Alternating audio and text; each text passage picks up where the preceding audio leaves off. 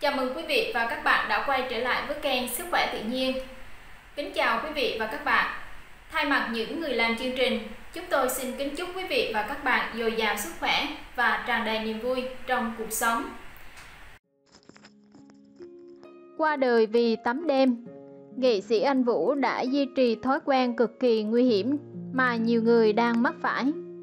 Quý vị và các bạn thân mến, tắm đêm khi nhiệt độ không khí giảm xuống khiến nhiều người đau đầu, mỏi chân tay, khó cử động, thậm chí là đột quỵ dẫn đến tử vong. Mới đây, thông tin nam diễn viên hài Anh Vũ qua đời đột ngột tại Mỹ sau đêm diễn ngày 1 tháng 4 theo giờ địa phương đã khiến nhiều người không khỏi nuối tiếc. Gia đình cũng nhanh chóng tiết lộ với truyền thông lý do anh ra đi đột ngột vì thói quen tắm khuya dẫn đến đột quỵ. Anh ấy đi diễn về khuya nhưng vẫn tắm, bị đột quỵ và rồi ra đi lúc nào không ai biết. Cảnh sát đã đưa thi thể anh đến nhà xác. Có lẽ sẽ không khám nghiệm tử thi. Sau khi làm xong các thủ tục, gia đình sẽ đưa thi thể anh về nước, người nhà anh Vũ nói. Theo đó, thói quen tắm đêm bị mắc thường xuyên ở rất nhiều người, đặc biệt là giới trẻ. Thế nhưng nhiều người vẫn không nhận ra hậu quả khôn lường từ việc này. Vậy, tắm đêm nguy hại như thế nào? Theo đó, vào buổi tối, nhiệt độ ngoài không khí giảm xuống, nên việc đi tắm sẽ gây tổn hại cho sức khỏe.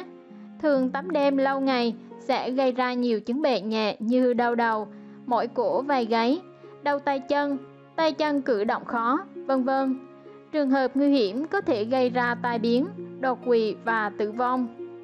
Người trẻ tắm đêm, đặc biệt là nước lạnh, sẽ khiến mạch máu bị co lại, khiến việc lưu thông máu khó khăn.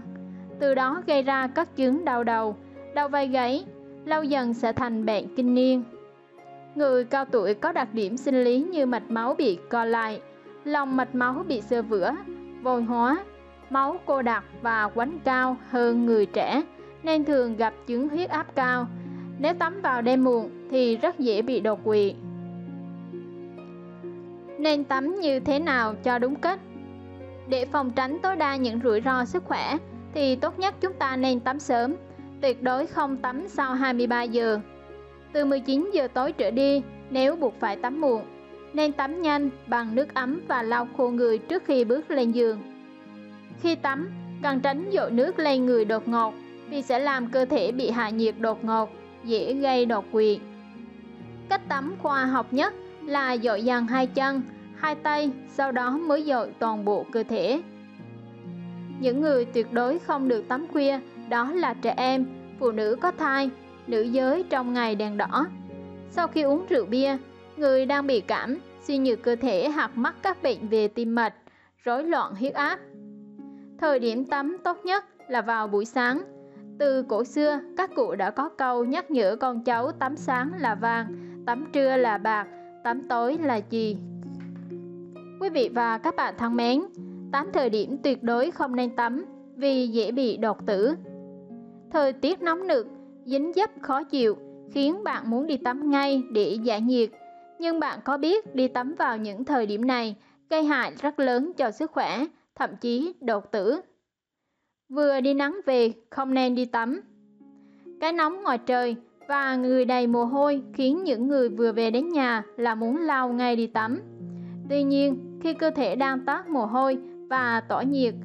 Tắm sẽ làm tắc nghẽn lỗ chân lông, mồ hôi không thoát được ra ngoài, làm giảm thân nhiệt, dễ gây cảm lạnh.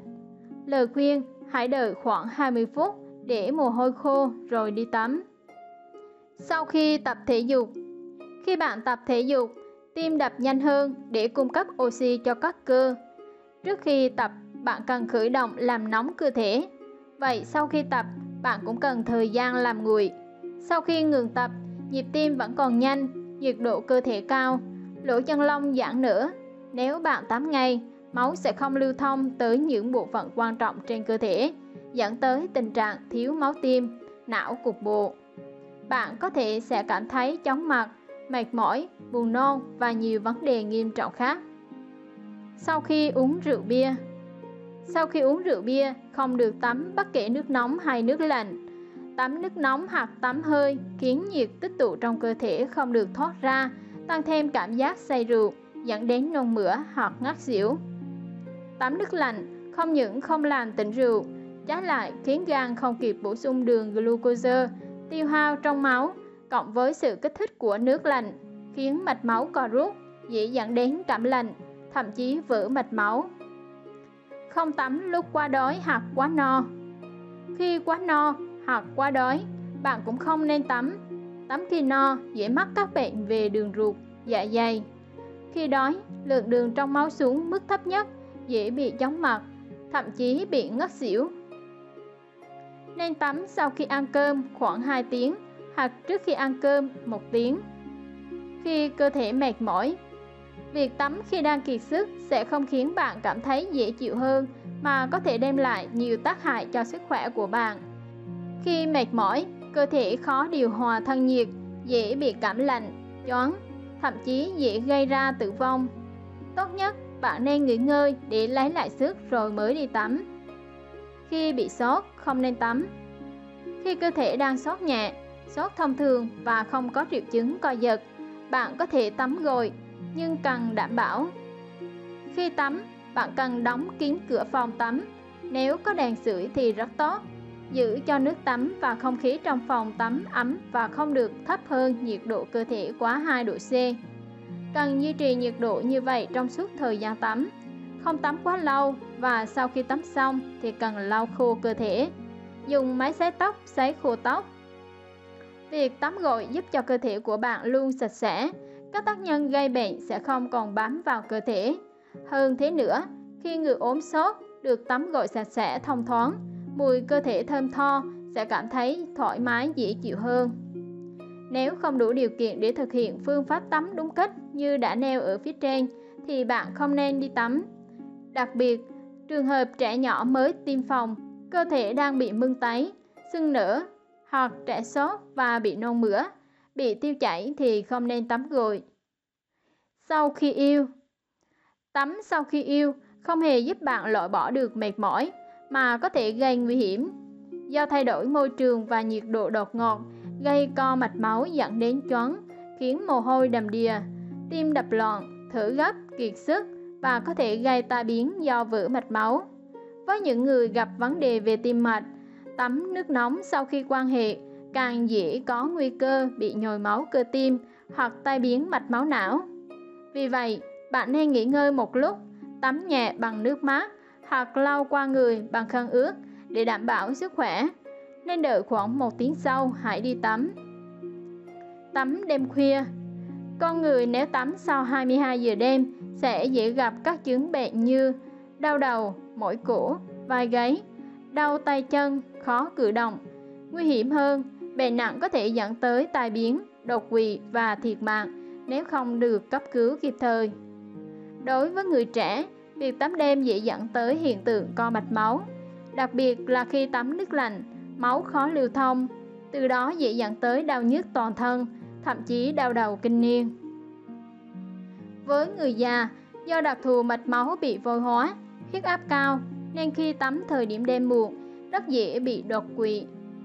Đặc biệt với người có tiền sử bị bệnh huyết áp, rối loạn tiền đình, tắm đêm bằng nước nóng sẽ làm tĩnh mạch giãn ra, huyết áp giảm, nên người mắc bệnh huyết áp cần tuyệt đối không được tắm đêm. Nhất là phụ nữ đang trong thời kỳ kinh nguyệt, không nên tắm muộn vì sẽ dễ làm trầm trọng hơn triệu chứng đau bụng kinh hay đau đầu. Thời điểm tắm tốt nhất là khi nào? Các chuyên gia y tế khuyến cáo, thời điểm thích hợp nhất cho việc tắm là vào buổi sáng. Nếu bắt buộc phải tắm buổi tối, thì nên tắm trước 20 giờ để tránh những tai biến nguy hiểm. Về nhiệt độ nước tắm, lý tưởng nhất là khoảng nhiệt độ từ 20 đến 25 độ C. Không nên tắm nước quá nóng hoặc quá lạnh vì đều ảnh hưởng đến mạch máu dưới da. Vào ngày hè, các bác sĩ khuyên rằng mỗi người cũng chỉ nên tắm tối đa hai lần trên ngày vào buổi sáng và có thể thêm một lần vào buổi chiều tối. Thời gian tắm cũng không nên quá lâu, mỗi lần tắm từ 15 đến 20 phút. Dù đầu có bẩn đến đâu, cũng không nên gội vào 8 thời điểm nguy hại này. Quý vị và các bạn thân mến, việc gội đầu quá nhiều lần và gội đầu toàn vào những thời điểm nhạy cảm sẽ khiến chị em lãnh những hậu quả khôn lường mà trước đó nhiều người chưa hề biết đến. Dưới đây là 7 khoảng thời gian cần lưu ý, không nên gội đầu. 1. Gội đầu buổi sáng Gội đầu vào buổi sáng là một trong những thời điểm rất nhiều người thường làm, nhưng họ đâu biết rằng việc làm này có thể khiến cơ thể bạn gặp phải những rắc rối. Thậm chí, nếu sức đề kháng của người đó không tốt, sẽ còn xuất hiện triệu chứng chóng mặt, nhức đầu, cảm lạnh, sốt, vân vân. Thông thường vào buổi sáng, cơ thể con người vừa mới ngủ dậy nên việc phục hồi chức năng cũng như lưu thông máu còn chậm. Bởi vậy, nếu bạn gội đầu ngay lúc này sẽ kích thích mạch máu não và gây khó chịu. Hơn nữa, buổi sáng thường nhiệt độ sẽ thấp, nếu gội đầu mà gặp phải gió độc sẽ gây nhức đầu, chóng mặt, thậm chí đột quỵ ngay lập tức. Nếu muốn gội đầu buổi sáng, bạn nên gội sau khi ngủ dậy 30 phút, nên gội nước ấm và sấy khô ngay sau khi gội đầu xong. 2. Gội đầu thời kỳ kinh nguyệt Những ngày đầu có kinh, bạn nên hạn chế gội đầu vì lúc này sức đề kháng của cơ thể khá yếu, dễ dẫn tới mệt mỏi. Chưa kể những người tóc dài lau khô có thể cảm thấy nặng đầu. 3.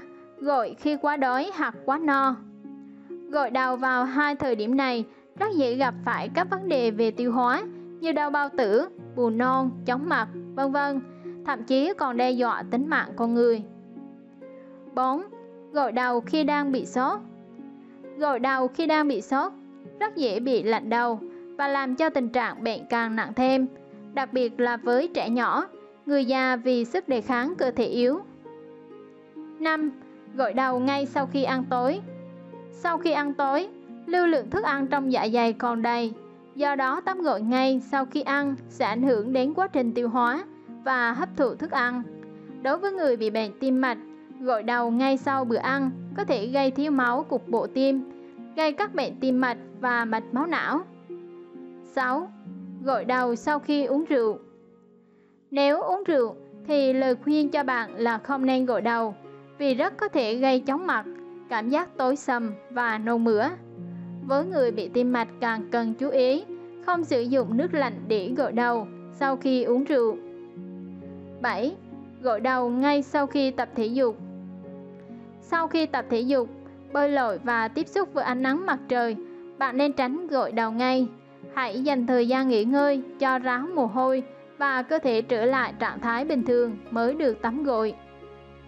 8. Gội đầu vào buổi tối nhiều chị em than đau đầu, tiền đình. Đầu óc lúc nào cũng quay cuồng bởi chứng đau đầu kinh niên mà không biết nguyên do từ đâu. Và trong nhiều trường hợp, chính thói quen gội đầu vào đêm khuya và không sấy tóc khô trước khi đi ngủ là nguyên nhân của tình trạng này. Việc để tóc còn ẩm đi ngủ sẽ cản trở lưu thông máu, dẫn đến chứng đau đầu kinh niên. Đây chính là lý do các chị em hay bị đau nửa đầu, đau mạng đầu vào sáng hôm sau. Nếu để tình trạng này diễn ra liên tục, sẽ dẫn đến tình trạng đau đầu kinh niên rất khó chữa trị. Những thói quen không tốt sau khi gội đầu ảnh hưởng tới sức khỏe. Nhiều người có thói quen tắm muộn và để tóc ướt khi đi ngủ. Điều này tưởng như bình thường, nhưng thực ra sẽ gây ra rất nhiều điều ảnh hưởng tới sức khỏe của bạn. Để tóc ướt có thể gây ra nhiều căn bệnh nguy hiểm. Vậy, để tóc ướt khi đi ngủ sẽ gây nguy hiểm gì? Chúng ta hãy cùng tìm hiểu tại video này nhé. Thói quen không tốt ảnh hưởng tới sức khỏe. Thường xuyên để tóc ướt khi đi ngủ sẽ gây ra các cơn đau đầu mãn tính hay cảm giác nặng nề, mệt mỏi vào sáng hôm sau. Bởi khi bạn đi ngủ, phần nước sẽ động lại trên tóc và da đầu, từ đó khiến các mạch máu hoạt động chậm lại, làm ảnh hưởng tới vòng tuần hoàn máu, gây ra các cơn đau đầu dữ dội. Nếu tình trạng này diễn ra thường xuyên, nó sẽ gây ra chứng đau đầu mãn tính. Khi đó việc điều trị sẽ rất khó khăn và tốn kém.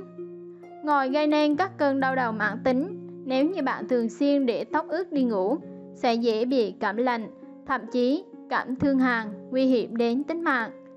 Khi bạn gội đầu hay tắm vào buổi tối muộn, cơ thể sẽ tỏa nhiệt ra ngoài bên ngoài, các mạch máu còn lại và làm lưu lượng máu cục bộ giảm, khiến sức đề kháng cũng bị giảm theo. Khi đó các loại vi khuẩn hay virus sẽ hình thành phát triển và gây viêm nhiễm đường hô hấp, dẫn đến cảm lạnh, suy hô hấp, vân vân, gây ảnh hưởng nặng nề tới sức khỏe. Đi ngủ khi tóc ướt còn gây ra một bệnh rất phiền tái khác, đó chính là gây ra gầu. Khi da đầu vẫn còn ẩm ướt sẽ khiến da đầu dễ bị tổn thương, gây ra ngứa da đầu, gầu xuất hiện. Da đầu ẩm ướt cũng là môi trường lý tưởng cho các loại vi nấm. Vi khuẩn gây hại phát triển, dẫn tới tình trạng nấm da đầu, ảnh hưởng tới thẩm mỹ và sức khỏe con người. Để tóc ướt đi ngủ, còn có thể mắc thêm chứng rụng tóc hàng loạt.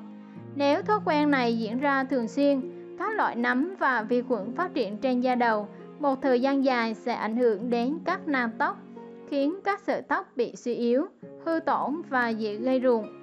Ngoài ra, nếu tóc không được làm khô trước khi đi ngủ, sẽ khiến tóc dễ gãy. Đặc biệt, nếu bạn buộc tóc ướt đi ngủ để bảo vệ mái tóc. Chính vì vậy, bạn nên lau bằng khăn hoặc sấy tóc thật khô trước khi đi ngủ. Để tóc ướt khi ngủ sẽ khiến tóc bị bết dính. Nằm ngủ trong tình trạng tóc ướt sẽ khiến da đầu mất cân bằng độ pH và tăng các tuyến bã nhờn, khiến cho mái tóc và da đầu bết dính kèm theo mùi hôi vô cùng khó chịu. Ngoài ra, để tóc ướt đi ngủ còn có thể gây ra chứng liệt dây thần kinh số 7 hay là liệt nửa mặt. Cảm ơn quý vị và các bạn đã theo dõi video của Sức khỏe tự nhiên. Quý vị và các bạn cũng đừng quên nhấn vào nút đăng ký để ủng hộ kênh và nhấn vào chuông thông báo để nhận được những video mới nhất và hay nhất của Sức khỏe tự nhiên. Cuối cùng, xin kính chào và hẹn gặp lại quý vị trong những video lần sau.